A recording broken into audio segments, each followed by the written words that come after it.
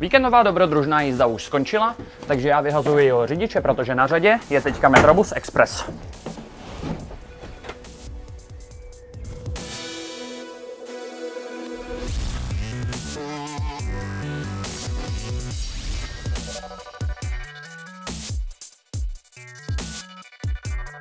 Pražský dopravní podnik poptává dodavatele 12 setmin automatů na jízdenky, které chce umístit do svých autobusů. Tyto automaty by měly plně nahradit doplňkový prodej jízdenek u řidiče. Terminály budou podobné těm, se kterými se dnes můžeme setkat v tramvajích nebo ve vestibulech metra. V automatu se tedy bude nabízet pouze základní sortiment krátkodobých jízdenek a platba bude umožněna jen bezkontaktní kartou. Dopravní podnik se tak pravděpodobně chce připravit na již zmiňované plánované zrušení doplňkového prodeje jízdenek u řidiče, k němuž dojde spolu se změnou tarifu PIT. Zajímavostí je, že tato změna byla schválena velmi potichu, aniž by se jakkoliv prezentovala veřejnosti. Středočeský kraj zveřejnil minulý pátek seznam tratí, na kterých se od roku 2022 počítá s úplným nebo částečným koncem provozu. Jako hlavní příčinu uvádí kraj zejména výraznou ekonomickou ztrátovost provozu a s tím související nízké vytížení spojů na dotčených tratích. Zde mají být vlaky většinou nahrazeny autobusy. Kontroverze ale může vyvolávat třeba zastavení provozu na tratě z Mělníka přes Mšeno do Mladé Boleslavy ve všední dny. Tato trať totiž prošla před pár lety rozsáhlou modernizací, která se teď jeví jako zbytečnější než dříve. Část plánu se také týká mezikrajských linek, kde je pro ušetření peněz nutná koordinace se sousedními kraji. Unikátní motorový bus M290, přezdívaný Slovenská strela, vyjel po tříleté komplexní renovaci poprvé s cestujícími. Bus je jedinečný například díky svému elektromechanickému přenosu výkonu nebo jeho maximální rychlosti 130 km za hodinu, což byla na jeho dobu nebývalé vysoká hodnota. Vlak bude vystaven jakožto součást expozice v nově zbudovaném proskleném depu.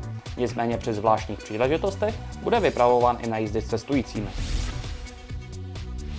Spolu s postupným prodlužováním denního provozu linek 5 se do normálu začal vracet i způsob odbavování v autobusech a tramvajích. Toto pondělí došlo ke znovu zavedení tramvajových zastávek na znamení.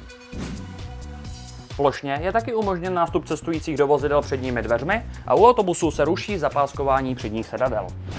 V sobotu 8. května došlo po pěti měsících k znovu otevření muzea MHD v pražských Střešovicích.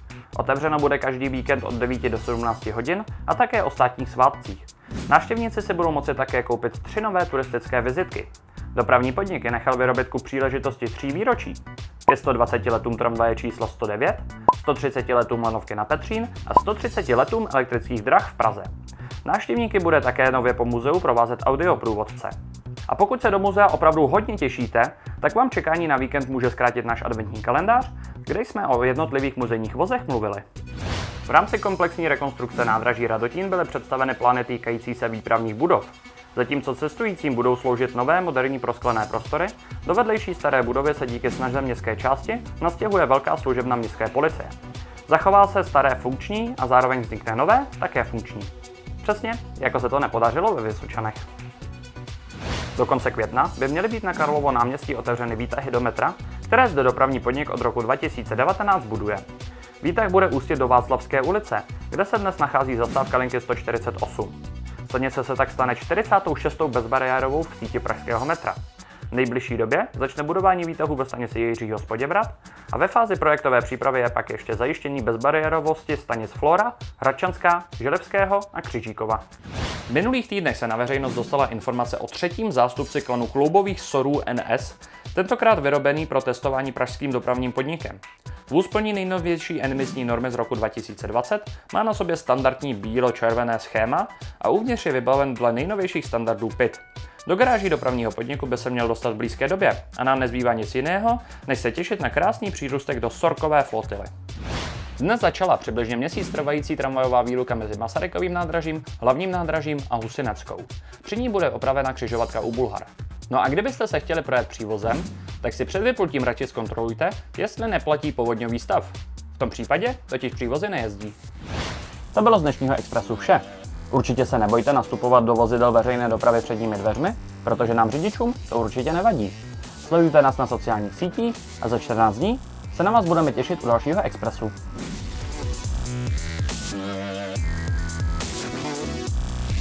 Yeah.